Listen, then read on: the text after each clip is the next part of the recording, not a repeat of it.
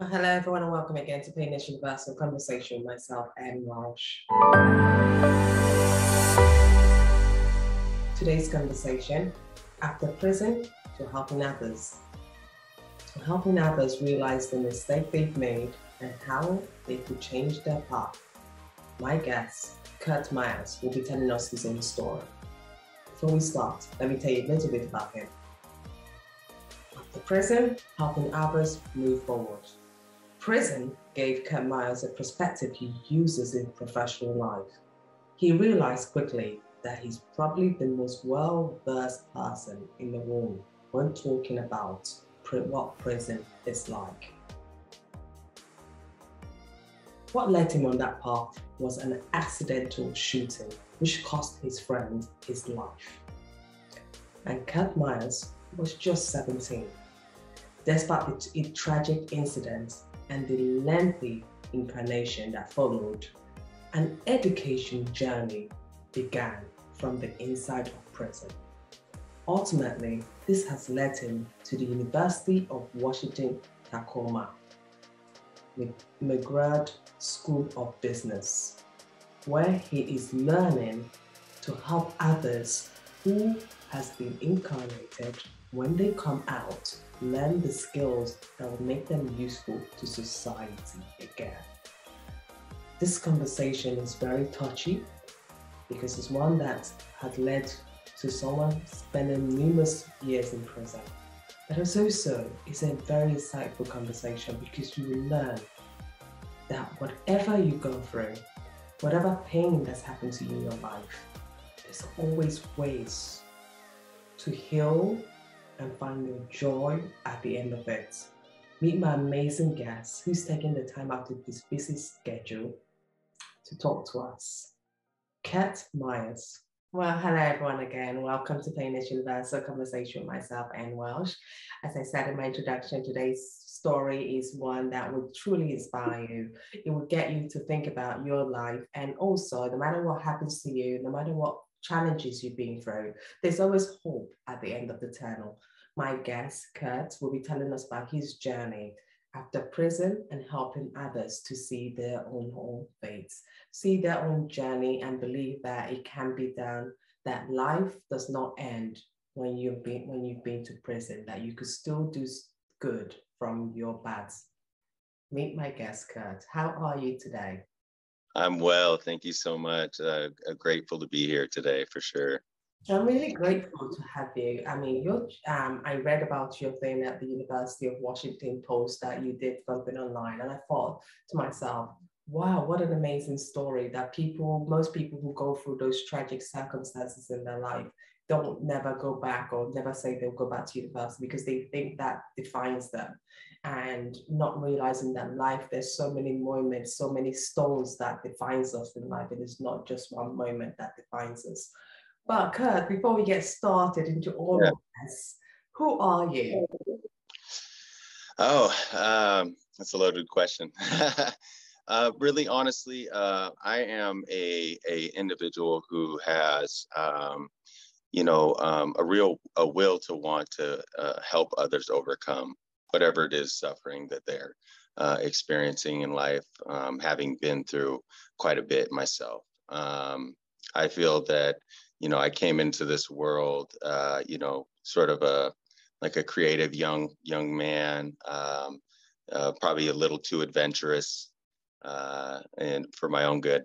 Um, but ultimately, um, uh, with that creativity, you know, I have been able to recreate myself. You know, uh, I have, uh, you know, having been through the experiences that that have defined me and made me who I am, and um, you know, sort of propelled me, uh, you know, towards, uh, you know, like achieving uh, goals and and dreams in my life. I want to share that with others. Um, I, I, believe we all have that capacity, and there's a lot of narratives out there that can, um, you know, sort of, uh, you know, convince us that that isn't the case. Mm-hmm. Uh, but I, I hope to be somebody who has a story uh, that can re, you know, um, that, that can change that narrative and can uh, sort of awaken folks to their own potential as well. Oh, that's really good. I love that. Very brief, nice answer about who you are. And it's just, you know, when you talk about it, you talk very candidly about from your own experience and helping others to learn that they could find that, that joy again. When you look at your background growing up, growing up what was it truly like? Yeah, so um, it was it was very um, you know I, I came up uh, in Tacoma, Washington, um, sort of in a you know lower middle class neighborhood. I had both parents present in my life, um, though they were um, you know uh, both scraping to make ends meet and to um, you know put food food on the table and pay rent and things like that. So um, you know I feel like uh, you know I had a lot of potential um, to um, you know I, I, was a very creative young man. I was always in theater uh, performing arts and things like that. Um, that was really sort of um, what i what i enjoyed doing. I liked entertaining folks making them laugh. Uh, uh, before we got on this show uh, we were t- uh, you and i were discussing um, our children and how uh, you know, um, your child is a little bit, uh, you know, shy of the camera.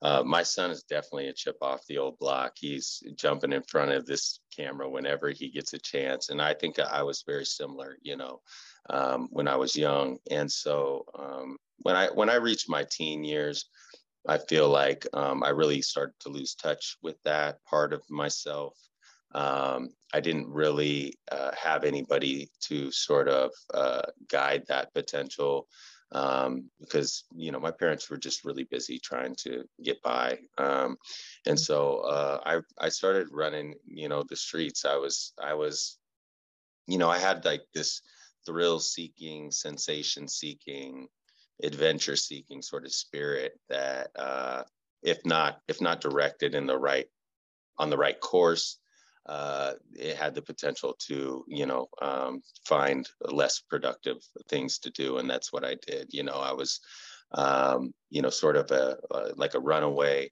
Um, my parents, uh, well, one of the questions that comes up when you're when you're experiencing uh, incarceration is like, and I also worked for an organization called the If Project, which poses this question to folks um, so that they can start to unpack their past and maybe recreate their future. Is uh, you yeah. know, is there something that somebody could have said or done to to change the path that led you to prison? And for me, I always thought like I just needed somebody to absolutely hold my hand. You know, I was just one of those spirits that uh, if you you, you know, if you wasn't guided and and um, you know watched over um, with with real with real scrutiny that he would end up um, finding his way into some mischief. And so that's what i did. And um, i was in and out of juvenile institutions mm-hmm. um, for um, taking motor vehicles and trying to joyride cars and um, all of that. And uh, and so yeah i was i was really misled youth uh, who um, you know just just really wanted freedom but didn't realize that everything that he was doing was probably going to lead him uh, you know further and further away from freedom so it's just um, yeah that's kind of uh, the gist of my childhood and how i came up no, absolutely, because it's um I think it's what we find with lots of teenagers. Um, they get to that age. Um, parents these days, especially past with the pandemic, both parents have to work so hard. It's very rare to see where a parent could stay at home because even if you have both parents, they're all working or they're incredibly busy in their own little world, forgetting that there's a child out there that actually is crying, could you just hold my hand or could you just guide me through this process? Because when, when you neglect that process, that turns into a massive disaster for the whole family at large. When you look at your bit, you were only 17 at the time of the tragedy. Um, did you see any hope in yourself when this tragedy happened? I had, um, I was, uh, I was also a teen that, you know, uh, engaged in a lot of like drugs and alcohol use kind of folds into my sensation seeking and thrill seeking. And so, um, right before the tragedy had occurred, I had gone to treatment and um, had really been doing well uh, with my um, abstaining from from uh, drug and alcohol use after treatment. Um, however, you know, the night of the incident, I did um, decide to uh, drink again, which was um, a very, um, you know, proved to be a very, uh, you know, bad bad mistake on my behalf. Uh, but um, but yeah, I, I think that uh, you know I was definitely hopeful. I was 17 years old. I had um, getting out of treatment. I started earning some some of my uh, parents, um, you know, trust back. Um, was starting to go to school again. Um, I had plans to uh, enroll at an occupational skills center uh, here in in Washington uh, State and Western Washington area, where I was going to learn web design, which would have been in 2000, in the year 2000, probably a pretty good direction to take, seeing as you know the internet ended up blowing up and all of that. But um, you know, uh, as li- as life would have it, uh, that wasn't my uh, you know the, the way that things would turn out for me. So yeah, and what was it that sparked your you know, when you when this tragedy happened, were you can you remember how you were feeling when you having an argument? Can you remember any of those feelings that would happen to you when these tragedies were ha- happened? No, it was uh, it was not um, a contentious uh, you know situation at all. In fact, it was really just a moment of uh, just utter blunder, not really thinking uh, clearly. Um, you know, due to the fact that I was inebriated and and really just um, you know, just playing playing around. Um, real tragic mistake that uh, yeah, at the time I, I really wasn't looking at it um, with the uh, level of seriousness that um, I should have been uh, playing with guns um, and, and young and, and inebriated. So, yeah, for those who don't know, it was an accident the way he accidentally shot his his friend. That I mean that cost his friend his life, and he Kurt had to go to prison for this. Could you describe your journey of when you knew that now your life is totally changed because you'd be spending some time in prison?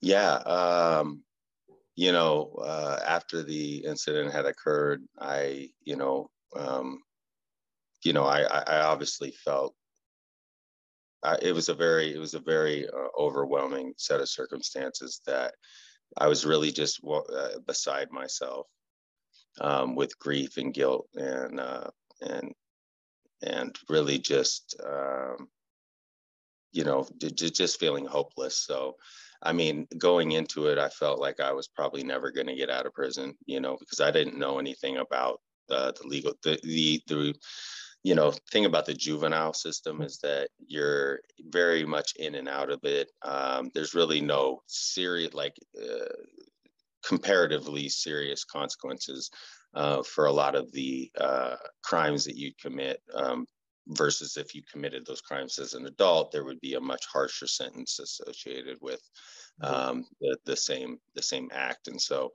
i had been uh, you know sort of disillusioned by uh, that that being able to just go in and out.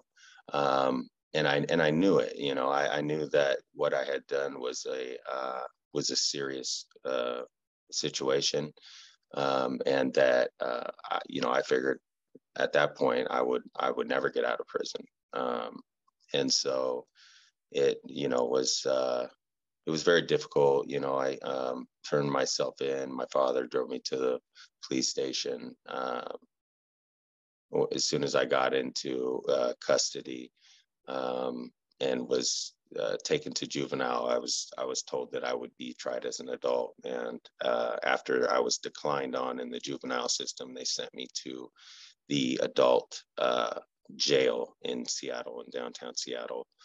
Um, and so, yeah, at 17 years old, um, I was just just really um, in a dark place, you know, just completely overwhelmed with guilt, guilt and shame and uh, just pain, yeah. you know, um, and then having to then uh, learn, figure out how I was going to navigate the adult system um, and uh, sort of dealing with all that that entails, which is um, a whole nother set of uh, issues and problems to have to navigate. So that is so incredibly journey. I mean, I mean, it must be so painful for you because I mean, this was something that happened out of an accident because of also because of your, you know, your your teenage impulse as well. Because you know, when you're a teenager, you want to do this. What message would you give to young teenagers today after seeing what you've been through?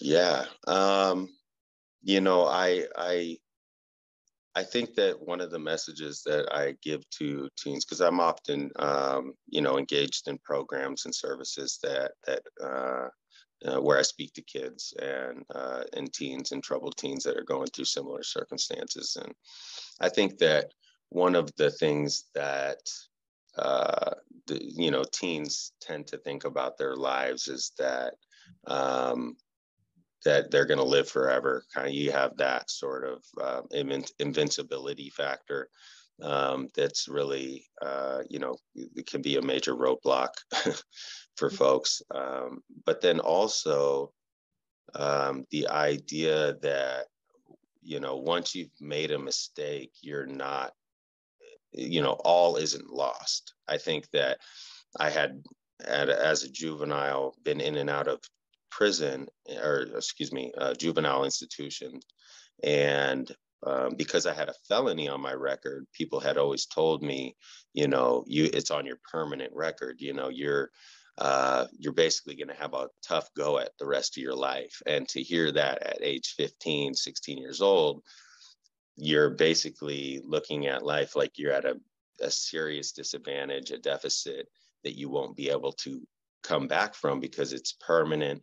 Um, and even if there is means of expunging a record or whatever, it's so many years down the line, and that's forever to a young mind that, that you know. And so it's so easy to fall into that trap that basically you're a throwaway already, and that you don't. There's no way out of it. Um, and so I try to, you know, impress upon young minds that your life is just beginning uh, there is, uh, you know, endless opportunity out there for you. And where there are barriers, you have the ability to break through those barriers. You know, um, uh, people are doing it all the time. Uh, in Washington State, we have, you know, many examples of formerly incarcerated success stories that we try to highlight, that we try to cite when we're talking to young folks.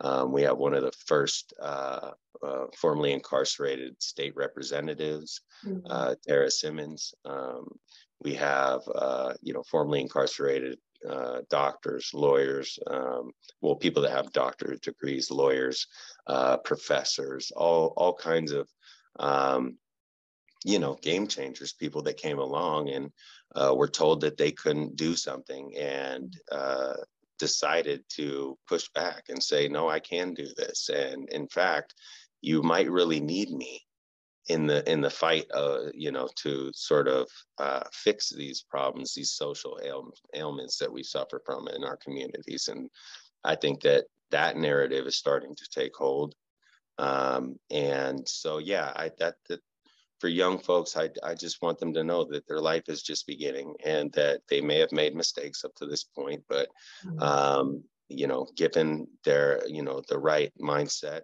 and, uh, you know, connecting yourself with folks that um, can help you, you can get past anything. And, and in fact, end up uh, achieving uh, dreams beyond your, your imagination. And so, yeah. That is true, and it's so it's so it's so possible because sometimes we we think um, because of the way the world is being programmed, when you're this age you should be this, when you're that age you should be married or this, you should graduate. But sometimes the world is not really designed this way. Everyone's every time's time to shine is absolutely different, and not because someone has labeled you something doesn't mean you can't change and become a better person and become useful to society. You started your education journey in prison. Can you tell me about your education? What, what, what, was it that you were doing? Sure. So um, I would say the first five years of my incarceration, I was really, my education was really just based on um, just uh, basic activities that I was able to do um, that sparked my interest while um, you know trying to just bide my time. So mm-hmm. um, I, I, would say I was a bit um, educationally underdeveloped. Uh, I had been doing a lot of skipping school and getting sent to juvenile and not really, you know, paying too much attention academically. And so um, I had been uh, a bit stunted. I think my GED scores were like, um, you know, ranked in the, like the 50, 50 percentile, 49th percentile. Mm-hmm. And so I barely got my GED um, while I was in county jail. And so when I got sent to prison, you know, I my education was really uh, self-taught. You know, I was writing letters to a lot of uh, my family members and friends and people. So, um, you know, I experimented with creative writing and um, different ways to sort of just express myself on paper. Um, I, I, also uh, I write music, you know, so I, I, I did a lot of like developing myself musically and creatively and um, and all of that. Um, but really, it was and it, did a lot of reading as well. You know, obviously you got to uh, pass time and in prison however you can and so i did i read a lot of books which really did help me in my um, you know personal development educational development um, thinking outside the box learning new ideas um, and concepts that were intriguing to me mm-hmm. and trying to mimic writing uh, you know of, of authors that i enjoyed reading uh, and things like that so it was really just at first sort of just getting caught up with you know where I probably should have been in high school, you know, just just off of uh, just activities like that, uh, just passing time. And then in 2005 at Walla Walla, uh, um, Washington State Penitentiary here in Walla Walla, uh, or in Washington State. Um, it's a closed custody facility, so that means it's like you know, kind of maximum security, you know, high high. Um, uh, security prison, and uh, they started a couple programs. Uh, one being the HVAC program, which is heating, ventilation, air conditioning, and the other was a welding program. And I was at a point then, I was about 22 years old, uh, 23 years old, and my brain was really starting to thirst for knowledge. You know, um, they talk about the prefrontal cortex um, development in in human beings and how you know, uh, uh, it's the decision making center of our brain. And when that part of our brain is not developed, we tend to make decisions that are not favorable um, as far as outcomes are concerned. And so it's a tough go at at teenage the teenage years and and the young adulthood navigating that, um, particularly when you have things like hormones raging you have things like you know alcohol being in, introduced into the equation and all of that and then to have you know that part of your brain not fully developed kind of makes for um, a recipe for disaster for a lot of young young men particularly but everyone in general um, and so there is a lot of young young folks that end up in prison because of that you know um, but it was like a light bulb had switched on around that time. You know, I was like, I was just hungry uh, to learn and to grow and to become something. And um, so I joined the HVAC uh, program. I learned heating, ventilation, and air conditioning. And it was something that I never thought that I would learn. Um, uh, it was I had never uh, graduated anything in my life, and so that you know to to complete that course was a real um, just uh, amazing experience for me in my own personal development. Um, and you know to to just know that I was you know I had this skill that would be marketable and valuable to um, the community once I got out to be able to fix somebody's fridge. You know, I never thought I would know all the inner workings of, you know, uh, you know, central heating and air system in somebody's house or their refrigerator or whatever, right? So, learning all this stuff not only gave me like a marketable skill, uh, but it also gave me a sense of self-worth you know like i can i can learn stuff i'm not just a throwaway you know i mm. uh, i'm capable of things greater than than i had ever imagined and so um, after that it really did spark a need for achievement in me that really just you know blossomed from that point forward I was like, you know, I want to learn more. And um, so luckily I had, um, my father had uh, invested in an education account for my sister. Um, and she, uh, because she just kind of went into motherhood um, at a, a, fairly young age and continued to have children uh, until this day. Uh, she's got five children, and so she never really had time to use that uh, that college tuition. And so, um, you know, I sort of have asked my dad, like, "Hey, you know, uh, I want to learn more. I want to take college courses." And he said, "You know, he's like, Kurt." uh, most kids your age want to go to college so that they can party and, and have a good time. And you're telling me you just want to learn. He's like, absolutely. And so, um, so, so yeah, I started taking college courses through course via correspondence with um, Ohio University. They have a, a, college program for the incarcerated. Um, it they got a great curriculum. It was all paper based, so I was doing things longhand in my cell, reading the textbooks, teaching myself for the most part. They had like learning guides and modules, but for the most part, if I sent an, uh, an assignment in, I'd have to wait two weeks to get the response back so that I could, you know, next thing. Correct, correct my thinking or whatever, and then move on to the next assignment. So it was a long journey just to get an associate's degree. But um, you know, during that time, I'm learning things like psychology and uh, economics and uh, physics and um, you know liberal arts. Uh, I, I, you know math. Math was something that I always said I'm not good at math, um, but I wanted to get a science degree because I you know I'm more left brain than I am right brain. I'm just uh, kind of a divergent thinker anyway. And so I knew it was kind of a hole in my knowledge base or my brain that I really needed to hone in on. And so um, I, I sat down and taught myself math all the way up to calculus. And these are things that I never thought I would, I would be able to do, let alone sort of like on my own. Um, and so, uh, so yeah, it was, it was a very, it just really opened up my mind to critical thinking, problem solving, decision making, all of these things. Uh, self uh-huh. And all by just when you were in prison, this is when you learned these whole new skills.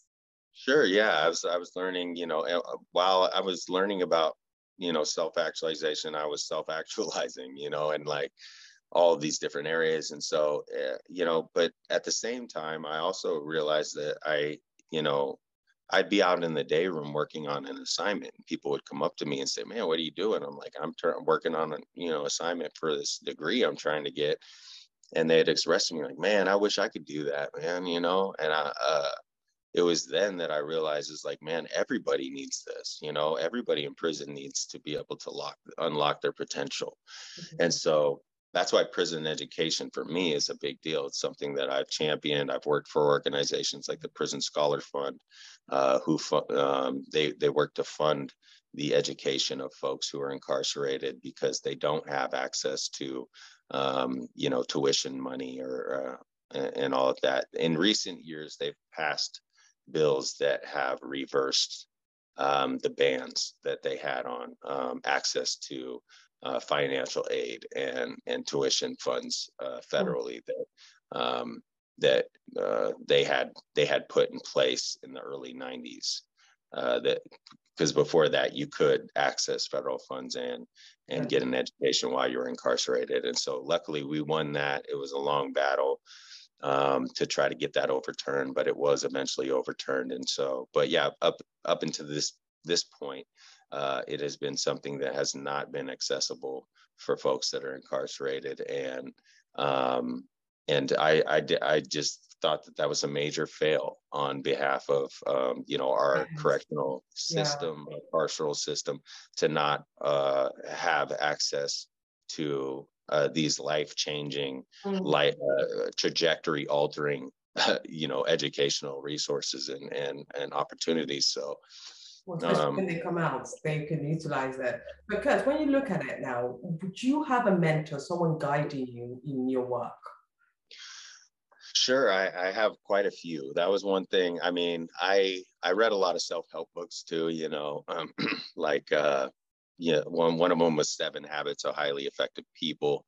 That was kind of a, a real uh, influential book and that I read while I was incarcerated, and it, it, it talked about sort of getting mentors, gaining mentors. Um, basically, anybody who I'd come across or had had uh, you know saw potential in me, and um, they had something that I wanted.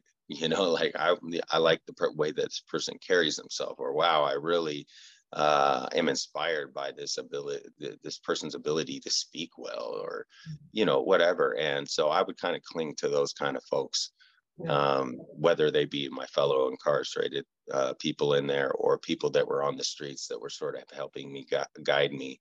Mm-hmm. And so I would say that I have uh, quite a long list of mentors, and I would always encourage folks to have the same because, um, you know, you are pretty much the circle of individuals that you keep. And um, so if you make sure that that circle is is just full of inspirational beings that uh, you know have uh, you know skills talents and uh, you know connections and things like that that you don't have to definitely um, you know uh, get to know those people and to keep them close in your life. Because it's oftentimes that you'll find that they're willing to uh, take you on as a mentee and if they see that you're eager and that you have the potential they'll they'll help foster that.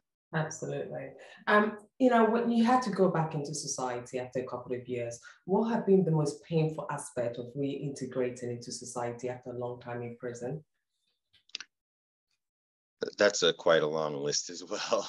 um, so I, I would say that uh, there's there's many things that you you know I, I like I said I had gotten two associate's degrees while I was incarcerated. I got um, a career diploma in bookkeeping. I had the HVAC certification. So I getting when getting out of prison, I thought that you know I had been pretty well equipped for this release, right? You know, like uh, I would be I would be, you know, um, capable. I I uh, put enough tools in my tool belt to really uh, navigate well and to to not only you know survive the transition but thrive. You know, and um, you know if you want to make God laugh, then tell him your plans.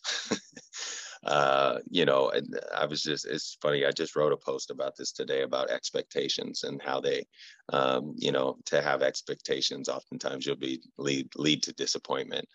Um, but there's, you know, there's been a lot, you know, it's, uh, it, there's been, you know, uh, having to navigate, um, like initially just being just going into a grocery store can be overwhelming i mean there's so many selections of of different things, items that you can get for one particular use, right?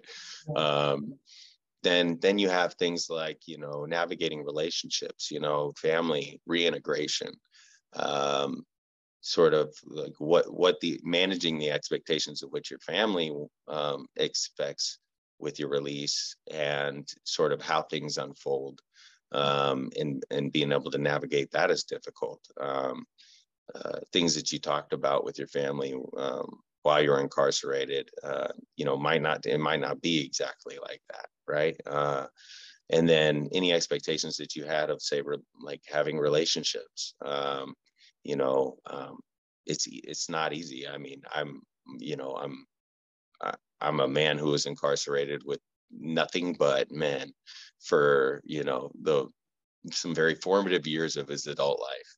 And so to get out even you know um, getting to know women again it can be uh, you know a, a bumpy road. And so um, but it, you know ultimately it's uh, it, it's been difficult in in certain ways and and, and but ultimately it has been um, you know just an amazing journey uh, to be able to learn and to adapt and to grow and to make mistakes and uh, and to learn from them and to uh, be able to continue to recreate yourself. I mean, um, I've learned a lot of lessons even in the last couple years. You know that I I feel have been um, just uh, instrumental in making me a better person, uh, allowing me to show up uh, to to things in a in a more authentic way, um, and to be able to be a better uh, benefit to to everyone around me right? And so um though there's challenges um i think that that's it's important that folks uh, find their support you know find your people. Um i've actually recently joined uh, a group of formerly incarcerated uh, folks, and we work on healing. We work on we we we uh, meet every week and we talk about these things that we're dealing with, and um, it's very important to have a group of folks that can relate to your situation because it's real easy to feel like you're the only one dealing with these things out here in the world when it's that's not in fact the case. There are so many people that are experiencing the exact same thing that you're struggling with um, and just to be able to recognize that and say oh, okay good i'm not alone. I mean it's um, it's not like misery loves company but it's more like you know uh, we can work together to try to heal. Um, and so that's what we're doing and it's been a really amazing experience for me to be a part of that group. Um, but that's what i've found in this whole formerly incarcerated community is a whole lot of folks that are overcoming these obstacles that are um, that are inspiration you know mutually inspiring one another in our different respective roles that we play in this community um, and and how we're working to make a, a an impact in the um, issues that are most uh, important to us in our own particular path. Absolutely. In a perfect world, right? When you, because you've now talked to so many people who've been through this process, how should one exit prison and be integrated into society so they could benefit society as well? What would be your perfect world scenario? Um, it's sort of like uh, if uh, you know what what kind of uh, steps should somebody take if that if that's what they would they would like for their lives. Um, i would say and i and i do do this i i feel like uh, you know there's been several opportunities i've had to talk to folks that have just gotten out that are you know i mean there's a lot of initial uh, you know things that one has to do that are really imperative. You know you got to get your documentations together you know your license and all these things and then you got to um, find a job and then you know hopefully figure out how you're going to figure out and find a place to live and all of that so you know those things are very critical and one of the ways that you do that is you get involved in organizations that help folks yeah. with that with navigating those issues um, and in doing that also um, to stay connected with those individuals throughout your um, your reentry journey. You know, it's not just like, oh, you're done with the program and, uh, you know, you're off to living your life. Because as soon as you do that, you you'll find yourself in situations where you need support.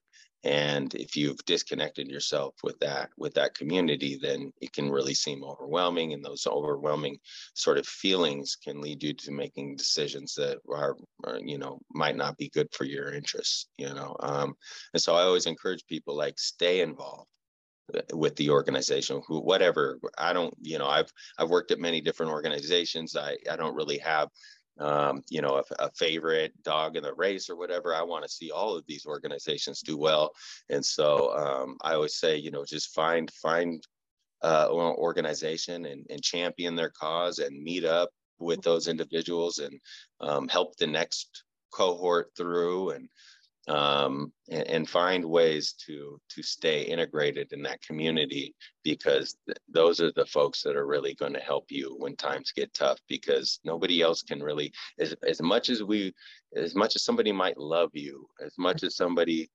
um, wants to support you if they haven't been through what you've been through um, it's they just can't understand right? You know um, as much as even they want to understand i mean uh, it's just it's just not the same and so it's just important to maintain those connections and to get involved i think that it's good for just your own self mm. uh, you know to to feel like you're giving back in a meaningful way um, and so yeah i encourage folks to to stay involved I, I love that because as much as people love you, as much as everyone means well for you, if they haven't been there, they will never understand what your personality, why your personality is like this, why you're like this, why you've been through.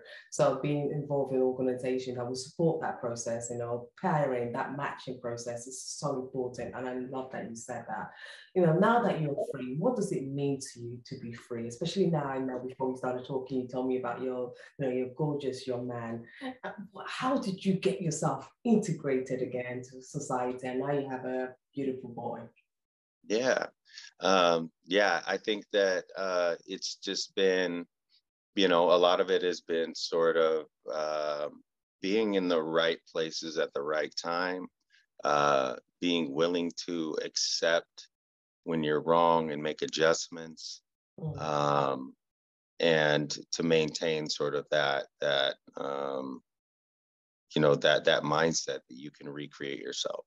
Um, and so I think that that's really important. I think that you know being present in the moment, not being too fixated on the past, and and imagining a new future is always key to this whole process.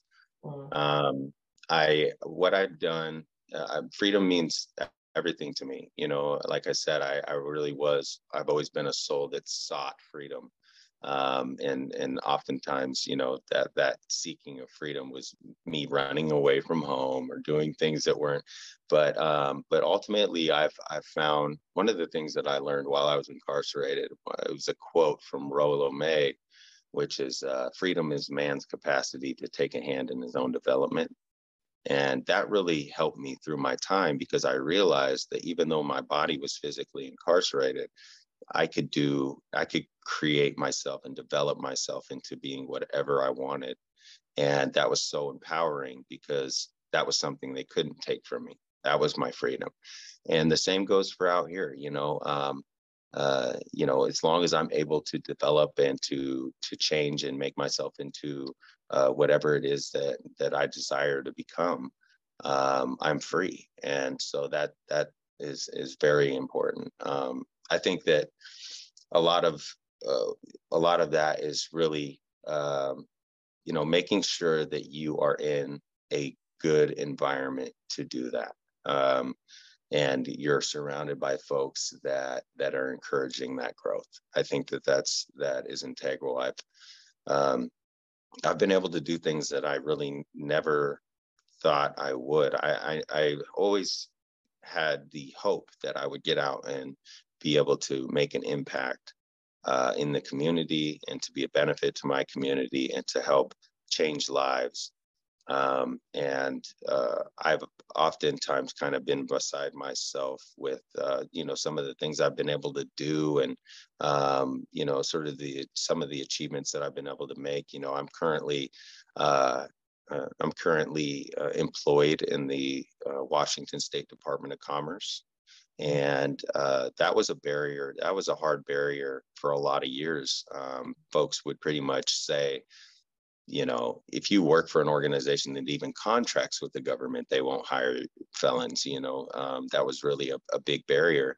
And in recent years there's been some people that have broken through those barriers. And for me to have a position at the department of commerce not only um, just any position, but also I'm, I'm overseeing the grants that are allocated to uh, um, uh, several reentry organizations throughout the state. And so um, to be able to, uh, you know, be sort of instrumental in, um, you know, helping those organizations manage the funds that they've been awarded and to, um, to be, you know, able to sort of guide that whole process here on the state level for me it's just been uh, one of those another one of those moments where you're just i'm just in awe with uh, where i've ended up and what I, and the impact that i'm able to make uh, given all of my experience um, both lived experience with incarceration and and um, being a troubled youth and all of those things to uh, my prison education and then post prison education and then now uh, my professional career uh, it's just really been um, amazing and something that I'm extraordinarily grateful for. I'm really happy for you, Kurt. This is unbelievable. If I let you go, I've got two, one, one, um, two questions. One is that you hold a degree from university, from the Washington University of Tacoma. How has this, this degree helped you when you go out and present yourself to people? Has that helped you in any way? And would you encourage others to do the same, to go if, if, if, if if by any chance you had to be, you know, something bad, you were in prison, would you encourage others to actually utilize getting a degree? Did that help you? Yeah, it helped me. So one of the um, sort of happy accidents uh, while I was uh, going through school, I had um, I started school about six months after I got out. um, I started attending business school.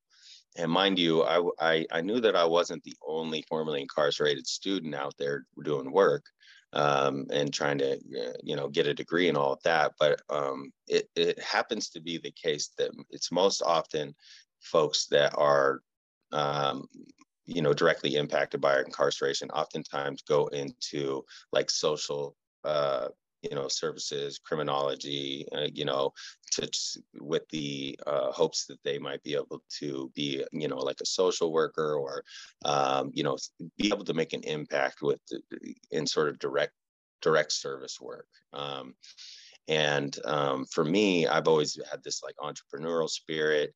Um, i wanted to learn sort of the functions of organizations organizational leadership and all of that because um, it was something that I knew that would be necessary for my community as a whole, for formerly incarcerated people as a whole, to understand how these nonprofits are formed, all these different roles, how to maximize and optimize functions at these organizations, all that. And so while I was going through business school, um, my lived experience wasn't something that I would readily shared with my, you know, fellow students in the business school, um, as opposed to like, you know, other other folks who were like might be taking criminology courses that probably raise their hand every five minutes to you know correct the record or to you know share some information regarding their experience and being a major benefit to their to their uh, uh, student groups or their um, or their classroom as they unpack sort of these concepts.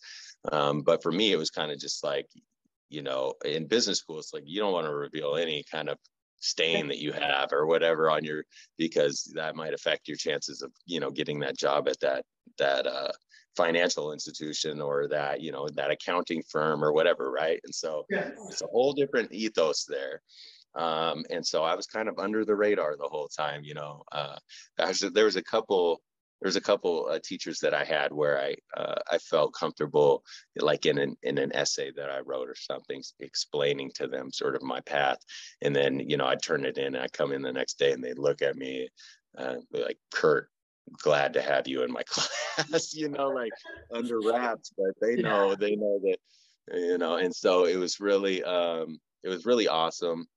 Uh, and I yeah. think that for me, I was able to start using these things right away. So I was able to, um, there had been a formerly incarcerated uh, professor there at UWT who started building community there. Hmm. Um, he started a uh, post prison education research lab, um, and he asked me to be his pro- project coordinator while I was still in school. And so now I'm able to use some of these business, uh, many of these business concepts. Uh, in, a role where I'm actually helping to make a make a difference and, and help create pathways from prison to to to um, university, right? And so okay and it's something that I had lived, you know, personally, and something that you know meant a lot to me. And so now I'm able to use these business skills uh, in service of the things that really matter most to me. Um, and then all the while, we sort of started finding out there's, you know, we're, we're, part of our task is to find out how many formerly incarcerated people are really here at UWT because everybody's under the radar for you know most of them right? And so we're trying to find and we you know come to find out we there's so many there were so many and we built community there. Um, and to this day we're all still um, very much friends working together uh, collaborating on different things. Um, many of us have um, you know found our career paths and are working at different organizations and we have all these connections with one another and are working to mutually support one another so it's really been um, amazing and my business my business uh, sort of experience has really helped me in uh, achieving all of those things. Yeah. I'm going to go to the last question. Finally, you do, you've described people as dynamic beings who hope to become better versions of ourselves and leave behind a better world. How do you plan to make this world a better world? In a simple answer, how would you plan on doing this? Yeah, um, I, I said that. I said that quote. Yes. Okay, yeah. Oh, it looks like I have a I have a visitor here. Um, so I think that for me, um, hello. Hi. Hi. Hello, how are you? Um, I'm good. Good. Uh, I think that for me, you know, um, the way that I plan on doing that, and I've always said that, you know, I I, pro- I probably won't live to see the change that I would like to see in my lifetime, but if I can do anything to sort of further, you know, get the ball down the field uh, as far as I can while I'm here, then that's what I plan to do, right? And so, um, I will always be, you know, working um, just to, uh, you know, make it so that there's better systems in place for folks to overcome the traumas that they are um, suffering from, to heal, to grow, to learn, and to ultimately overcome all of these social ills that we deal with. You know, I mean, car- incarceration is one of them, but that's really just a a you know wrongly sort of applied um, uh, prescription to the problems that we face. You know, we have uh, um, we have you goofing off.